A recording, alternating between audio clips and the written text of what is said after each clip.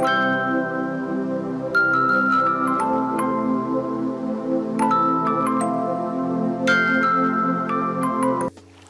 mừng quý vị và các bạn đã đến với bản tin dự báo thời tiết ngày 25 tháng 9 năm 2021. Thưa quý vị và các bạn, bão số 6 và hoàn lưu sau bão đã gây ra nhiều thiệt hại tại các địa phương như Quảng Trị, Đà Nẵng, Quảng Ngãi, Bình Định, Bình Thuận, Con Tum. Hoàn lưu sau bão thì vẫn còn và đang có xu hướng mở rộng ngược lên phía Bắc. Khu vực Bắc Bộ trong đêm qua và hôm nay, đới gió đông vẫn tiếp tục hoạt động mạnh, để ẩm có sâu hơn trong đất liền.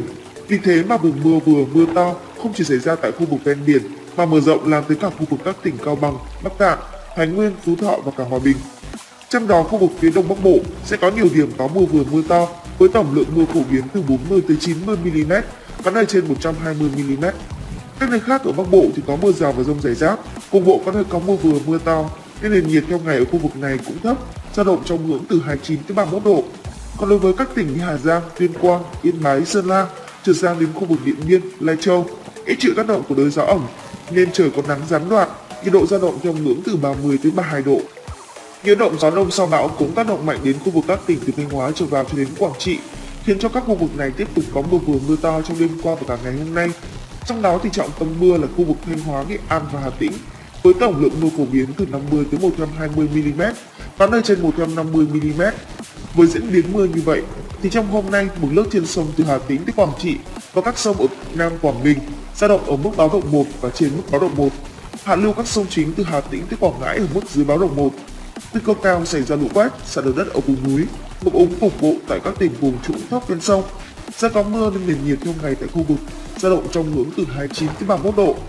Trong khi đó thì các tỉnh từ Thừa Thiên Huế trở vào đến Bình Thuận, mưa giảm nhanh còn ở vài nơi, ngày trời có nắng trở lại, mức nhiệt sẽ nhỉnh hơn, dao động trong ngưỡng ngưỡng từ 31 đến 33 độ.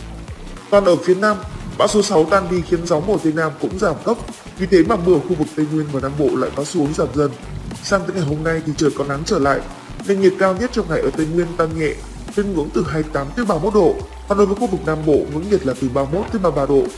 Đến chiều và tối, khu vực vẫn có mưa rông, nhưng lượng mưa không lớn dưới 10 mm. Còn trên biển Đông, dự báo những đợt mưa lớn có khả năng dồn dập tràn về khi có sự tương tác giữa hai hình thế là xoáy thuận nhiệt đới và không khí lạnh từ phía bắc tràn xuống. Do vậy, bà con phải luôn đề phòng, sẵn sàng phương án ứng phó với mưa lũ có thể tràn về bất cứ lúc nào. Sau bão số 6, từ nay đến hết năm 2021, nước ta vẫn còn phải đón thêm từ 6 tới 7 cơn bão và bão thấp nhiệt đới nữa. Trong đó sẽ có 3 đến 4 cơn ảnh hưởng trực tiếp tới đất liền, tập trung ở khu vực Trung và Nam Trung Bộ.